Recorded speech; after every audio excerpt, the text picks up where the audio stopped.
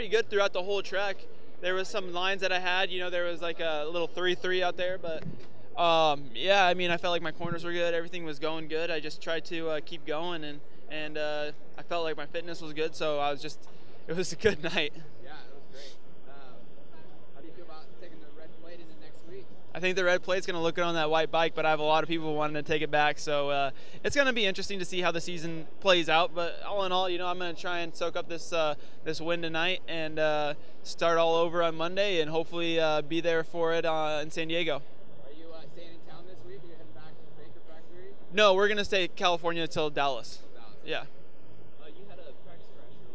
Uh, yeah, my practice was a little bit rough. I uh, kind of got squirrely in a section and ghost ride the bike. So, yeah, definitely uh, pulled it back together and uh, aw- awesome to win it. It was crazy.